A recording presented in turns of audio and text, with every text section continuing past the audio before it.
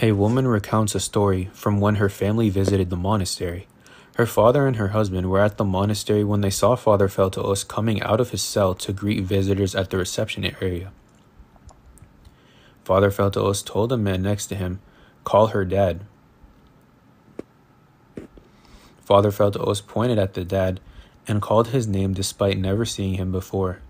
As if he knew him, he repeated his words, called him, and said, I pray for him as he is very sick. Father Faltaous told her dad, You are friends with so and so, who used to be friends with my father. That friend of yours died a few months ago. Her dad was touched to learn of the death of his friend. The family, however, didn't know how Father Faltaous knew their relation to the deceased. The dad had cancer, but his family didn't tell him. Father Faltaous told the family to let the dad know of his condition. Father Faltaous then told them that her dad will carry this cross either way, and so he must be prepared. Indeed, the dad found out that and his attitude changed. When at first he thought he was sick without knowing that it was cancer, he was waiting to be cured. But when he found out the truth of his disease, he became in a state of waiting to meet God and was keen to have communion and go to confession.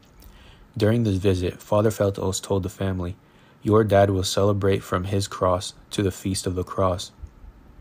And sure enough, the cancer was discovered in March, and their dad passed away in September on the Coptic Orthodox day of the Feast of the Cross.